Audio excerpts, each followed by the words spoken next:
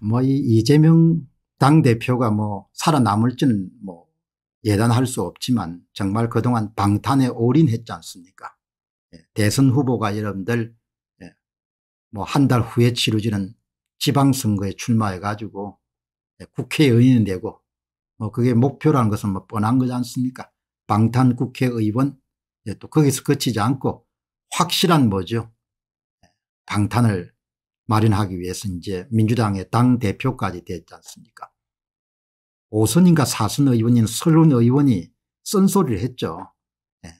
이재명의 사법 리스크가 민주당 자체를 함몰시킬 수가 있기 때문에 당 대표에 나와서 안 된다 그렇게 했지만 뭐 그 사람들의 건 뚜렷하지 않습니까 어떤 경우든 간에 대장동 개발사 비리 사건 때문에 이재명 당대표가 다쳐서 안 된다 이런 것 때문에 예, 무리하게 보궐선거를 또 나오고 그렇게 한 거 아닙니까 근래 이름 가장 인상적인 것은 3구 대통령 선거 날 이런 밤에 오마이뉴스 tv에 나와가지고 당시에 송영길 당대표가 한 이야기입니다. 송영길 이재명에게 전화해서 이깁니다. 푹 자고 나오십시오. 송영길 더불어민주당 대표가 이재명 더불어민주당 대선 후보의 승리를 확신했다. 오마이TV 유튜브 방송에 출연해가지고 송영길 당대표가 한 이야기가 압권이었습니다. 이 사람들 진다고 생각 안 했을 겁니다. 예, 그거는 뭐 꿈에도 생각 안 했을 겁니다. 왜 그런가 하니까 여러분 2017년 대선부터 소위 사전투표 조작 프로그램을 가동해 가지고 실패한 적이 없거든요. 실패한 적이. 뭐 예를 들면 2021년도 4.7 보궐선거야 박원순 씨하고 오거돈 씨가 다 성추행으로 여러분들 다 자리를 물러났기 때문에 그때는 역부족이었지만 나머지는 대성을 했지 않습니까? 2017년 대선이나 2018년 지방선거나 2020년 총선이나 간에 그러니까 3구 대통령 선거를 어떻게 패배한다고 본인들이 생각할 수 있었겠습니까? 송, 송영길 당대표는 뭐 선거를 어떻게 치른지 훤히 다 알 거 아닙니까 사전투표 조작이 어떻게 이루어지고 있는지 민주당의 당대표로서 다 알 거고 또 586 운동권에 뭐 여러분들 거의 뭐 톱이지 않습니까? 훤히 다 알겠죠. 우상호 무슨 뭐 윤호중 송영길 이런 사람 다 알겠습니까? 참 나쁜 사람들이죠. 어렵게 만든 이 나라에 선거를 그렇게 도둑질을 해가지고 선거를 완전히 무너뜨린 거 아닙니까 이게 지금 가장 인상적이었습니다. 그래서 여러분들 오마이뉴스 기사를 찾아보니까 저녁 출구조사가 나온 이후에 오마이TV와 진행한 인터뷰에서 송영길 더불어민주당 당대표가 아까 출구조사 전에 이재명 후보에게 전화해서 우리가 이깁니다. 잠 푹 주무시고 이따 준비해서 나오시기 바랍니다. 이후 초접전 출구조사가 나오자 눈물이 왈칵 쏟아졌다. 송영길 대표는 승리를 확신한 근거로 초접전을 짓게 된 방송 3사 출구조사를 들었다. 저희들은 지지율 차이가 1%포인트 안으로만 들어오면 이긴다는 생각을 갖고 있었습니다. 예, 표나지 않게 이기도록 그렇게 다 세팅이 된 거라고 저는 봅니다. 사전투표율이 36.9% 무진장 높았죠. 뭐 황금 어장이었으면 조작하기에. 출구조사는 여론조사로 보정을 하기 때문에 한 1, 2%포인트는 숨은 표가 있다고 봅니다. 사전투표에서 민주당이 10%포인트 이상 이겼다는 게 중론입니다. 예, 10%포인트 이상 이겼다는 건 뭡니까? 이만큼 손을 댔다는 거죠. 음. 사전투표에서 민주당이 10%포인트 이상 이겼는데 당연히 그러면 뭡니까? 정상적인 투표 같으면 어떻습니까? 당일 투표가 10%포인트 이상으로 이겨야 되는 거죠. 그래서 이재명이 20% 정도로 이겨야 되는 거죠. 사전투표에서 민주당이 10%포인트 이상 이기는데 어떻게 1%포인트로 간신간신 이긴다는 이야기입니까 말이 안 되는 이야기를 하는 겁니다. 훤히 그 메커니즘을 다 알고 있는 겁니다. 송영길 당대표 말씀이 3구 대통령 선거 출구조사 끝나고 난 다음에 사전투표에서 민주당이 10%포인트 이상 이겼다는 게 중론입니다. 손을 그만큼 대면 이길 거 아닙니까 사전투표입니까 조작을 하면 은. 이게 다 나오는 겁니다. 예. 방송사 출구조사는 사전투표가 정확하게 보정이 안 되고 보수적으로 됩니다. 저희는 한 1.5%포인트 정도 이길 것으로 했던 것이 그런 것입니다. 송영길 잘 안 알겠습니까? 권력의 빠꿈인데 어떻게 사전투표 조작을 모르겠습니까? 이런 것을 뭐죠? 이렇게 문제가 드러났는데 이걸 그냥 덮고 세상에 가겠다는 게 이게 나라는 아닌 거죠. 송영길 당대표가 여러분들 이 선거입니다. 2020년 4.15 총선. 예. 인천광역시 계양구월 선거입니다. 예. 어마어마하게 조작을 했습니다. 미래통합당의 윤형선 후보의 관내 사전투표 득표수의 8에서 12%를 빼앗아 가지고 더불어민주당 송영길 후보와 함께 옮겨가지고 플러스 9에서 플러스 13%입니다. 이렇게 큰 차이값은 거의 미친 수치입니다. 선거에서 나올 수 없는 수치지 않습니까 여러분 이거 한번 보시기 바랍니다. 예? 이게 여러분들 인천광역시 계양구에는 7개 동이 있는데 7개 동 산하의 투표수가 44개인데 44개 다 뭐죠 투표소마다 조작을 해놓으니까 44대 0으로 관내 사전투표에서 모두 다 송영길 후보가 승리한 겁니다. 이건 확률적으로 2분의 1의 44성이기 때문에 일어날 수 없는 확률입니다. 그런데 송영길 당대표는 조작을 할 필요가 없습니다. 왜 그런가 하니까 지역구 관리가 탄탄하고 그쪽 지역에 동양 사람들이 많이 살기 때문에 당일 투표에서 압승합니다. 이게 보시게 되면 125.8이 당일 투표입니다. 무슨 수치인가 하니까 미래통합당 후보가 100표로 들 때 송영길 후보가 당일 투표에서 125.8표로 얻은 겁니다. 그 이야기는 당일 투표에서 이미 압승을 한 겁니다. 사전투표 조작을 할 필요가 없는 데입니다. 그래도 조작을 한 겁니다. 예? 여기 관, 관내 사전투표 미래통합당 후보가 100표로 될때 송영길 후보가 229.4표를 얻은 겁니다. 여러분들 거의 뭡니까? 예? 얼마나 조작을 해놓으니까 당일 투표에서 125.8이 나왔는데 우편 투표에서 229.4표가 나온 겁니다. 이거는 말이 안 되는 거죠. 표를 쑤셔 넣었다는 겁니다. 관내 사전투표는 미래통합당 후보가 100표로 들때 관내 사전투표에 송영길 후보가 198.7표로 든 겁니다.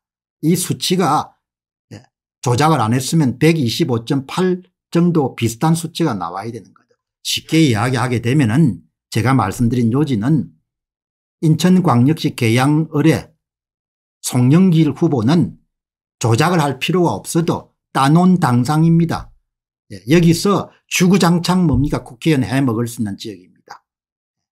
그런데도 불구하고 조작한 겁니다.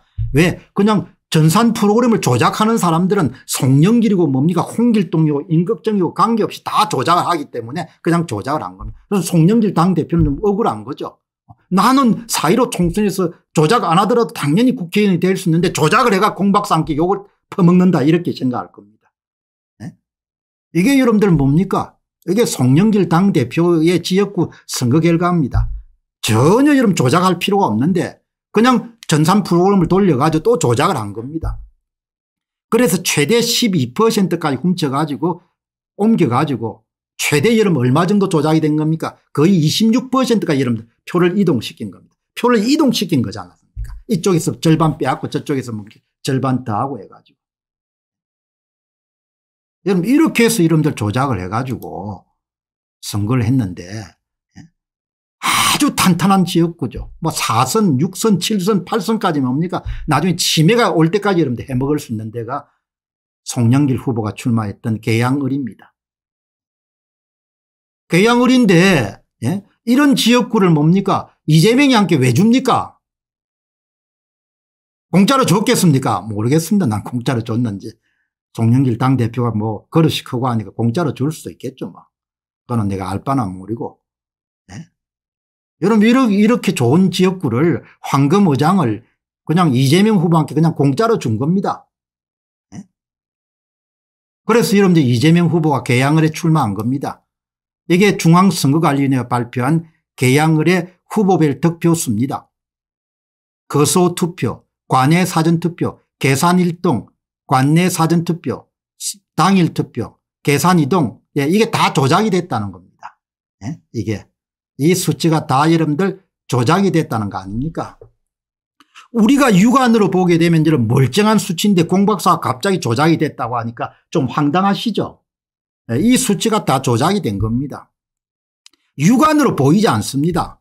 육안으로 보이지 않기 때문에 예? 이런 선거 데이터를 조작한 선거 사기범들은 예? 국민들을 돼지개로 본 겁니다. 돼지개들은 꿀꿀 멍멍 멍멍 꿀꿀하기 때문에 돼지개들은 뭡니까 그냥 아무 수치나 이런 들 발표하더라도 돼지개들이 모를 거라고 본 겁니다. 예?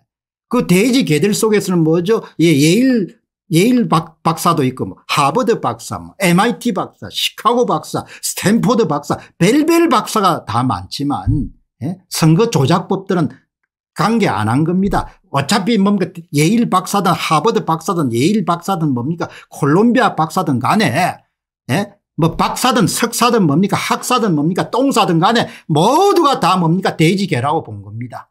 예? 이게 여러분들 대한민국의 헌법기관인 중앙선거관리위원회가 6일 지방선거에 함께 실시했던 인천광역시 보궐선거인 계양을 선거에 예? 발표한 거부할 수 없는 최종적인 후보별 득표수입니다. 이 득표수가 다 조작이 됐다는 거 아닙니까 그게 중요한 겁니다. 예. 이게 진짜 숫자가 아니고 가짜 후보별 득표수란 겁니다. 이걸 전산 프로그램 이용해 만들었다는 거 아닙니까 아니 공박사 허위 사실 공표 유표죄로 잡혀간다고 그렇게 이야기하는 사람이 있겠죠. 예. 아니 여러분들 이거를 이거를 눈에 아니 이게 다 숫자인데 이게 어떻게 가짜입니까 아니 그래서 제야 전문가 여러분들 이 숫자를 다 분석해 보니까 이게 딱 어떻게 됐는가 하니까 국힘당의 윤형선 후보가 얻은 사전투표 득표수를 투표소 레벨마다 10%를 빼앗아 가지고 이재명한테 넘겨준 예? 그런 정확한 수학관계식이 선관위가 발표한 득표수 후보별 득표수 자료에 그대로 포착이 된 겁니다. 그래서 내가 이런 조작을 했다고 이야기한 거죠. 저는 원래 이렇게 뻥을 치거나 뭐 거짓말 할 수 있는 사람이 아닙니다. 뭘 뭐 예, 귀한 밥 먹고 뻥을 치고 다니겠습니까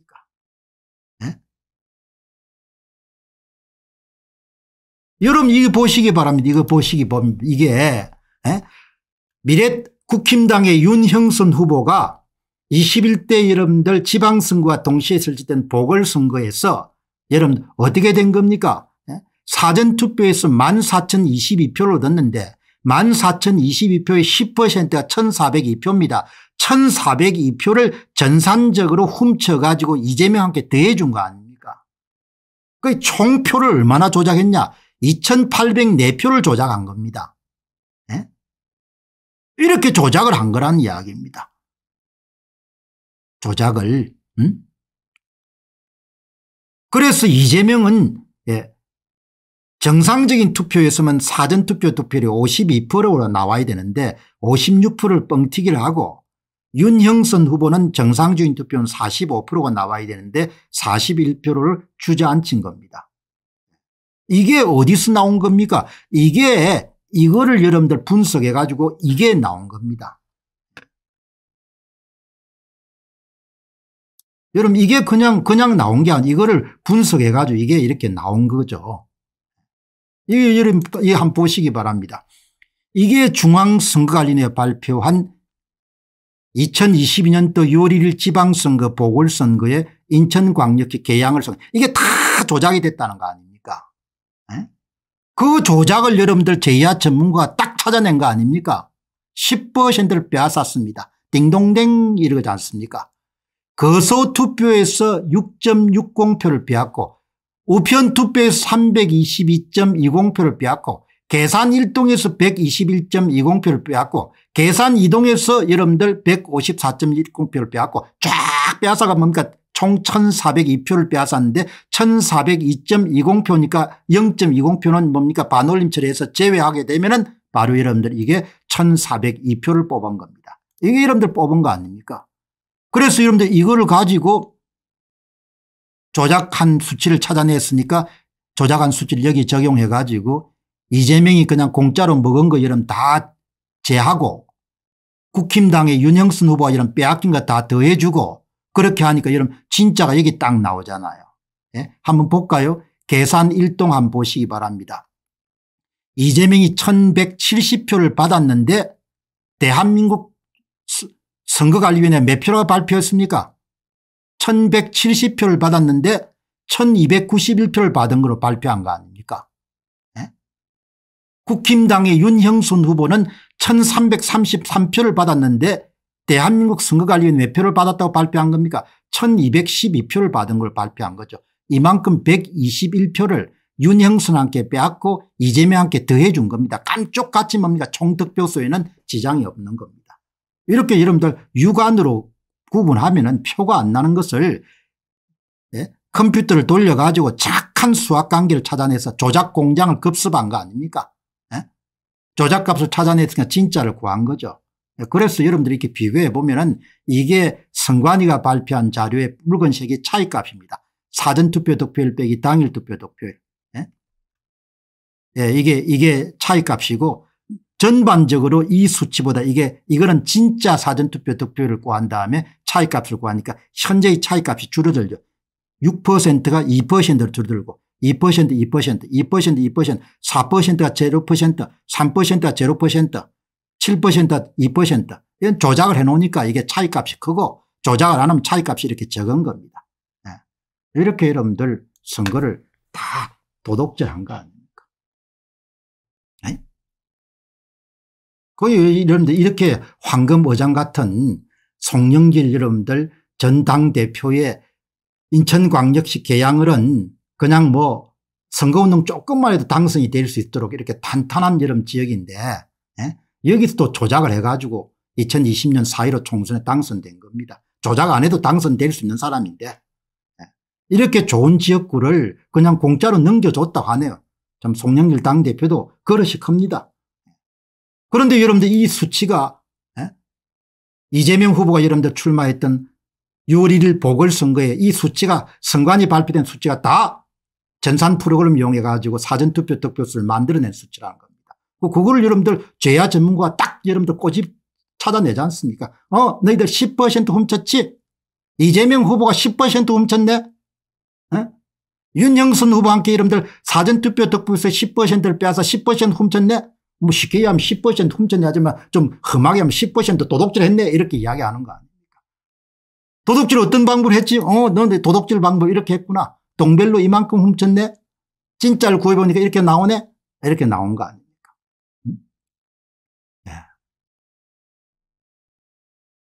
이게 뭐 엄청난 범죄지 않습니까? 선거마다 이렇게 도둑질 하니까